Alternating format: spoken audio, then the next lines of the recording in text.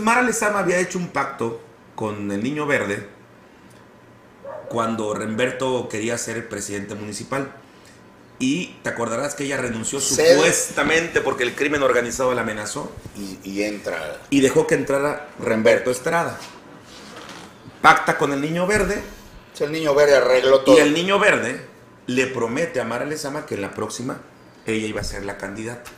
Pero sigue siendo. Aún que- sin saber el Niño Verde que se iban a aliar con Morena. Entonces el niño verde sigue siendo el que eh, decide en Cancún. El niño verde es, el, es la mano que mece la cuna, es el líder moral de- de- de- del Partido Verde. Y así es como Mara Lezama llega a ser la candidata de Morena porque es un pacto entre el verde ecologista con Andrés Manuel.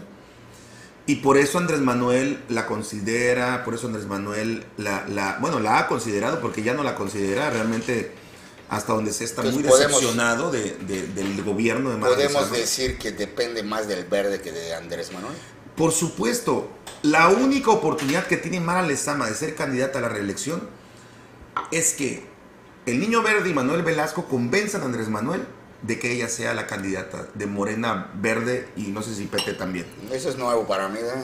Es la única Es oportunidad que tiene Mara Lezama. pócar de haces. Pero tiene algo en contra y algo que de plano sí le va a pegar y le está pegando y seguramente la hará no ser la candidata a la reelección. Y es que Mario Delgado, el líder nacional de Morena, Nacional de Morena. está obteniendo el respeto absoluto de Andrés Manuel a las decisiones partidistas.